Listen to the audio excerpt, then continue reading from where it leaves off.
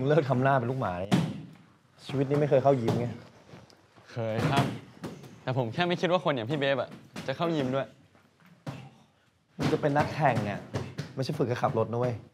สมรรถภาพร่างกายมึงก็ต้องแข็งแรงพอที่จะควบคุมรถได้เข้าใจปะมึงต้องฝึก reflex หูตา จมูก ทุกอย่างแม่งต้องเป๊ะหมดอะเข้าใจปะครับพี่ วันนี้เทรนเนอร์กูไม่มานะเว้ยมึงเป็นคู่ซ้อมกูหน่อยแล้วกัน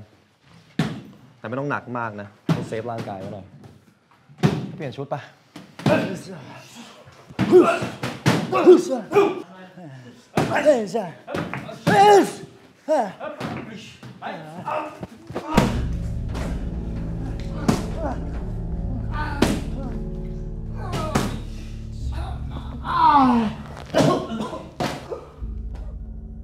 ผิดเบฟนี่หว่า เจอคิมแล้วดิ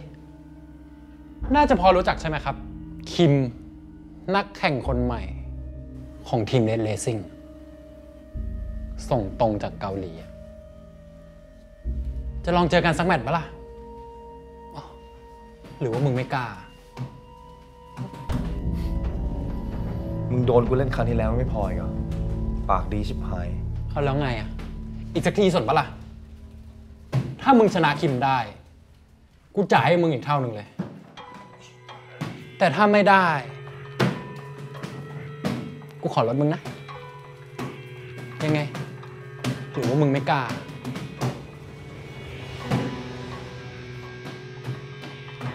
หึ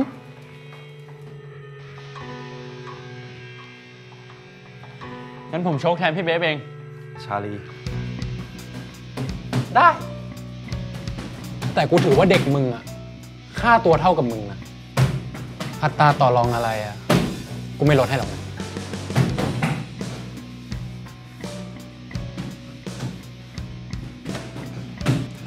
มึงจะต่อยแทนกูทำไมวะก็พี่บอกต้องเซฟร่างกายไม่ใช่หรอ ร่างกายพี่เบฟอะก็ต้องใช้ไว้แข่งรถสิครับ